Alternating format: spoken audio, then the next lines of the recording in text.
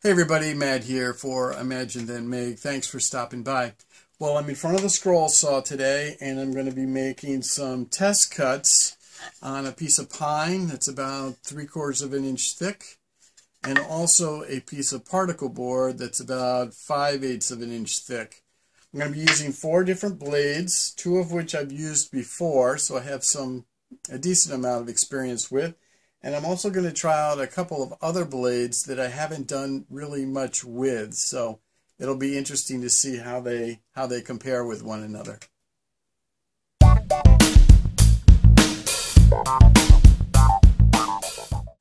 So this first blade on the left is a pin end blade. It's fairly wide, but it does have a fair number of teeth per inch. I'm not sure of the exact value, but you can see how fine of a blade it is.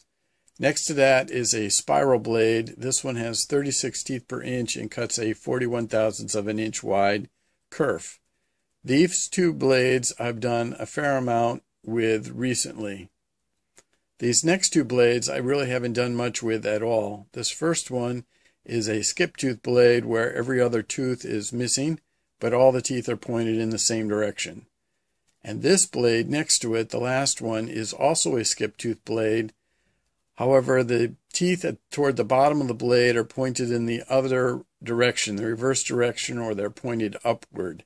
So this is referred to as a skip tooth reverse blade. So the plan here is to make the same four straight cuts using these four blades on the two pieces of wood and then at the end compare the quality of cuts. So we're going to start with the wide pin end blade and we'll start cutting on the piece of pine.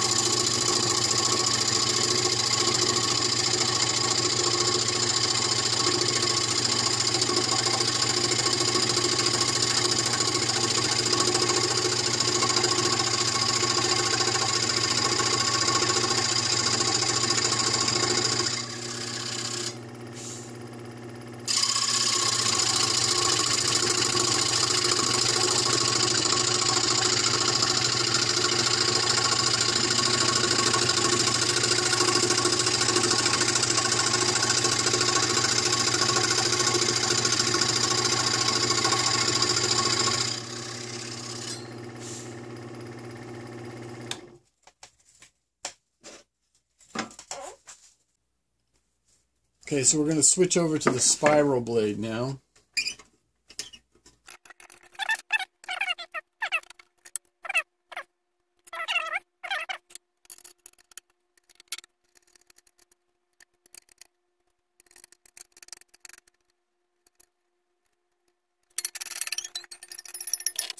Okay, ready to cut.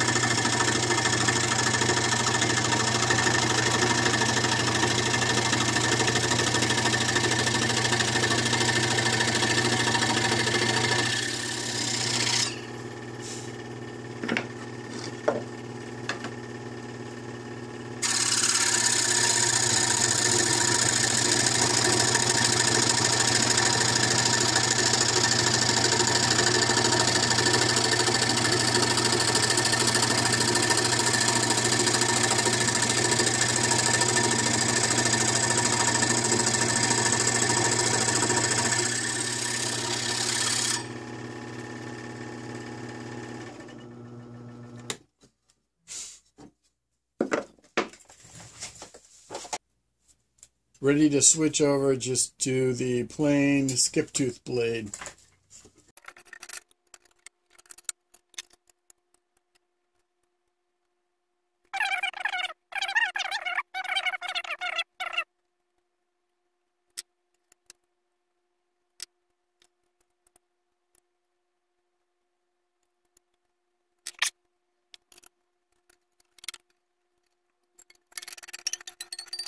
Okay. Ready to cut.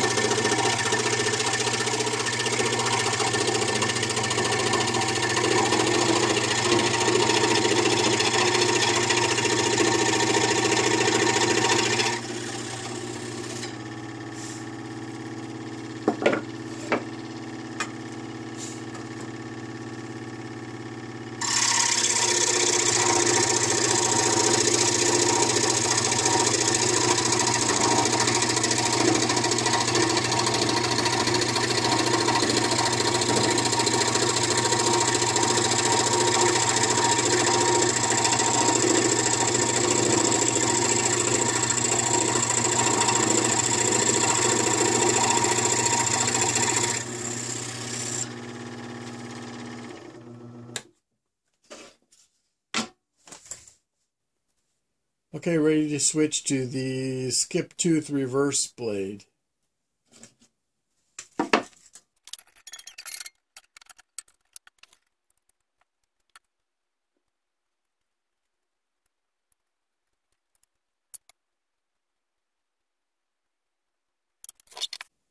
Okay, so I ran into an interesting problem here trying to put this reverse tooth blade into the lower blade clamp and it looks like the thickness of the blade is such that it doesn't easily want to go inside the blade clamp.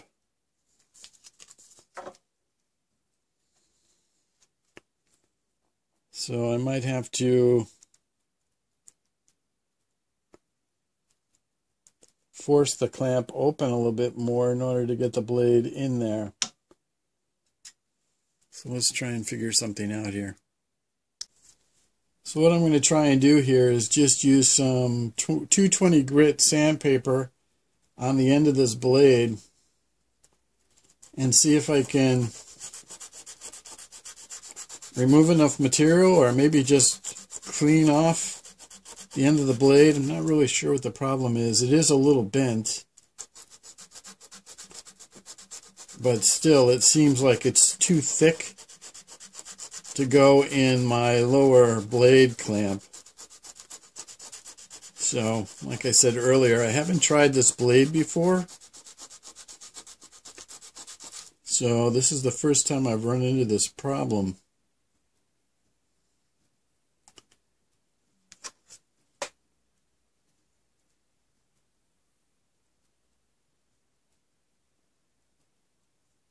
Okay, I think it's getting closer. And turn the camera off and continue sanding. So after a little bit more sanding, I was able to get the blade into the lower blade clamp with the help of this needle nose pliers.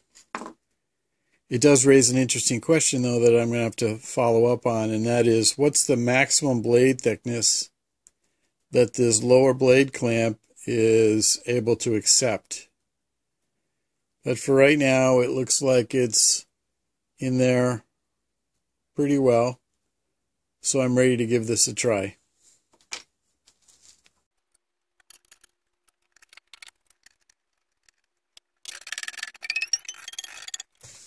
All right, I think we're ready to cut.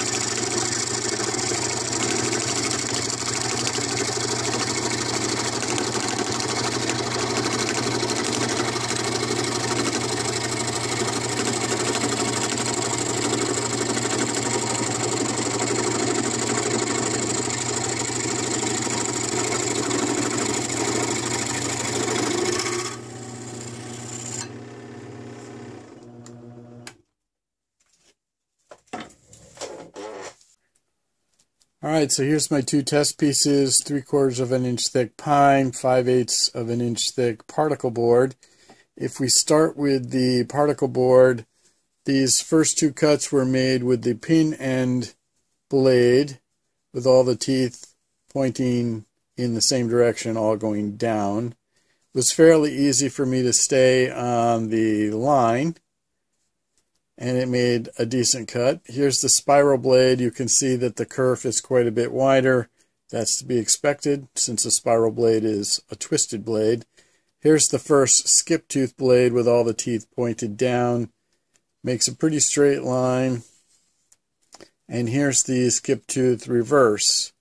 And you can see that the, well, maybe it's hard for you to see, but the kerf cut by the skip tooth skip tooth reverse blade is a little wider since that blade is thicker than this skip tooth blade.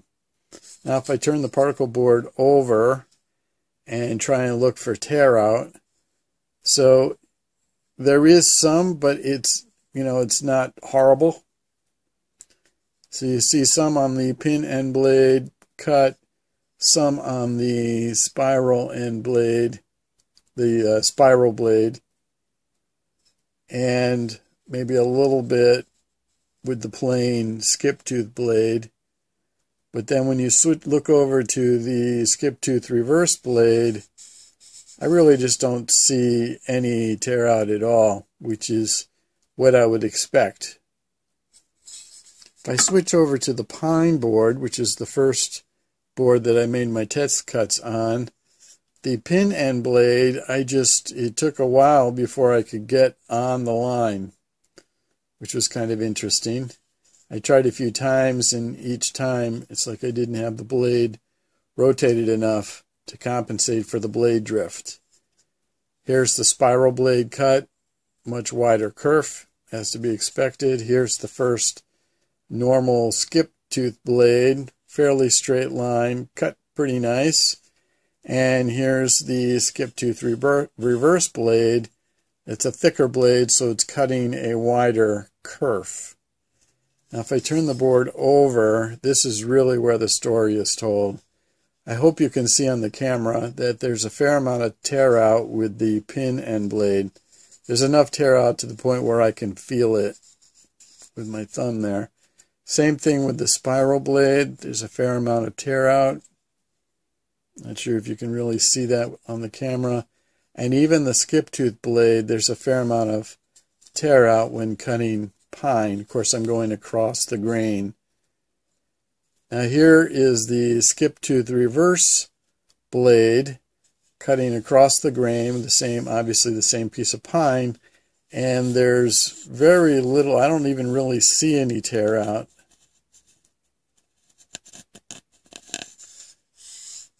So it looks like the uh, skip tooth reverse blade did a much nicer job on this piece of pine than the other three blades.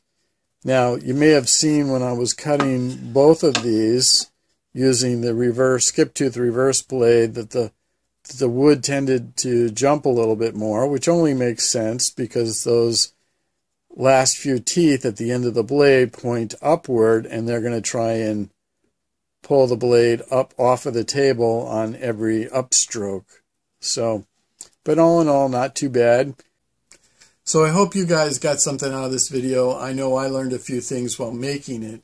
For me, what I learned is that when cutting softwoods like pine, using a skip tooth reverse blade, I'm more likely to make a higher quality cut because the skip tooth reverse blade doesn't create as much tear out on the backside of the cut. And I think I proved that to myself and hopefully to you guys while making my test cuts on this piece of pine. The backside of the test cuts for the pin end blade, the spiral blade, and even the normal skip tooth blade, all three of these blades produced a certain amount of tear out. But the skip tooth reverse blade, same piece of pine of course, didn't produce any tear out.